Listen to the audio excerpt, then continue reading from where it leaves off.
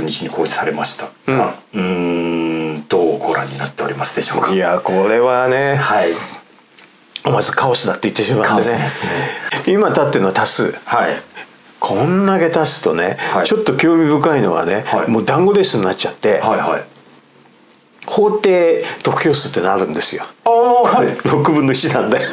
あ、6分の1なんですね。だから、ひょっとしたら超団子レースになっちゃうと誰も6分の1を取れなくなったえ、これ届かないとどうなるんですかもう一回直し。再選挙。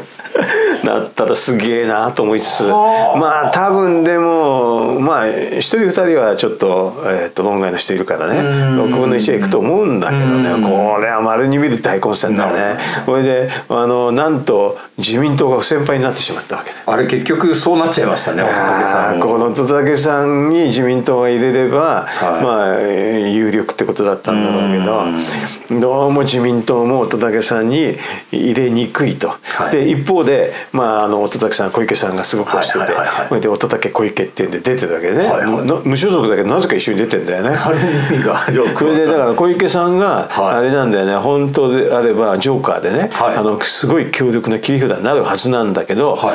今回はそこまでなるかなんないかってちょっと読めないところがあるんですよね。これがあの例の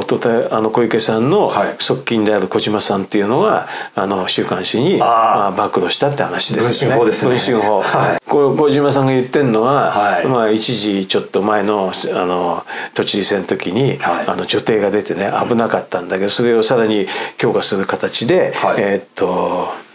エジプトの、まあ、大使館ね、はい、日本大使館ね、はい、これがあの小池さんが出たっていうのを出すっていうのを、うん、まあ、あのそれが発端になったのは自分ですよ。はいはい、それであれを書いたのは A 記者という人が書きましたっていうね、はいはい、これがもしか本当だと文書偽造みたいな形になるかもしれない。確かに、うん、小池さん平気の兵で、はい、小島さんの話とかね、うん、ジャーナリストには一切触れずにね、うん、私はもうあのカイロ大学からあの卒業したっていうに認めてもらってるんです。そこ一本やりで、はい、ずっと通してんだよね。はい、でねここまで通せるってことでと私がちょっと邪推するんだけどね、はい、これはっきり邪推ですよね。でも女帝っていうのとあの多少みんなあの本当に卒業したのって怪しく思ってるっていうことがあって、えーと、そういうので考えるとあのねその女帝っていう本で書いてある話と、この小池さんの発言をねあの両者整合的に考える道もなくはないんですよ。うん、どういうのかっていうとね、はい、女帝で書いてあるのはね、はい、まあかなり古い話だよね。はい、40うんと何年か前、前に、えー、っと小池さんの方は卒業しなかったと、うん、それは同室の人が言ったわけではい、でそれは40何年か前に卒業しなかったっていう話と、はい、小池さんが言ってるのは今の現段階で、はい、じゃあちゃんとあの海洋大学に聞いてくださいと、はい、私は卒業してますよと、はい、で今の段階のその卒業してるって話は実は矛盾しないんだよ、どういうふうに矛盾しないかっていうとね、はい、40何年間前はうまく卒業できなかったかもしれないけど、その間に卒業したことにするってことは可能は可能なんで、えー、ちょっと評価もついてるかもしれないけどね、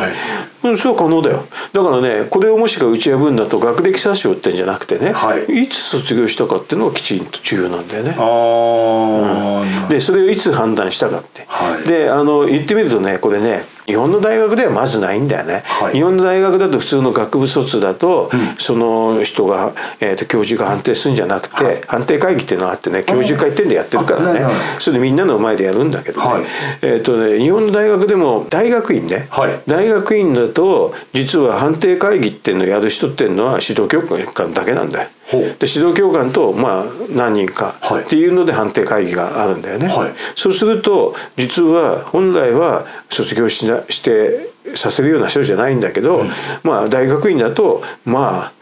よく言われてるのはね、はい、そういうこともあり得ると。これは日本の大学でもあり得るし私実際に知ってんだけどアメリカの大学でね、はい、日本の人の方なんだけどこの方は実は学位取ったってことに日本で言ってるんだけどね、はい、でもこれはこの学位を取ったっていうのは実はあのおっぴらにはあんまり言えないんだよって私実際に聞いたこともあったよね。ああそうですか。でもその指導教官も「学位取ったの?」って言われたら聞かれたら取ったというと。うん、でも積極的に言えないという言い方だったよね。でそういうのってあるんだよ。まあまあ。だからこれは卒業の定義の問題なんだけど、だから仮にあれだよねあのほら小池さんがね、はい、海洋大学に行ったっていうのは多分行ったと思う、はい、でそれで同室の人は卒業してなかったはずでしょって言ってるわけよね、はい、でその後に実は小池さんがまあキャスターになって、有力政治家になって、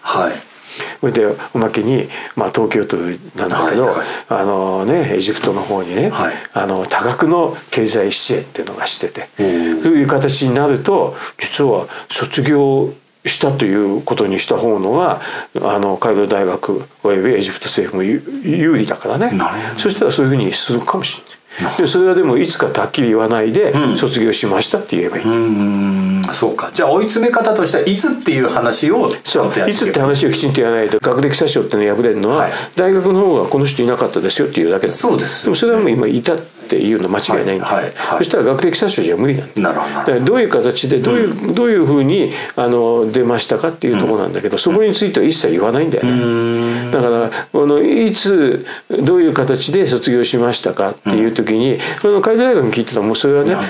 言うに決まってんだ。あのこの人卒業しましたと。ちょっとだからね攻め方がちょっと違うんだと思うだからあのあえて言うとあれだよね。ちょっと遡ってね、はい、遡った時にいなかったという。はいいうふうな証明。例えばちょっとこれ可能かどうか知らないけど、遡って、はい、その時にあの小池氏は、まあ、40年以上昔にね、はい、遡った時にちゃんとね卒業してましたよとかって言った時に海洋大学の方がねしてませんって言ってたら、それはそれでねしないことになるよね、でもそこをやってないと、全然今からやったってあのもう海洋大学の方が卒業しましたって絶対言うから。なるほど、ね、これはなかなか苦しいと思うんですよねでもこれで、みんながええと思っちゃうってことは選挙戦に意味があって、そうすると自民党もちょっと乗れないなという形で,、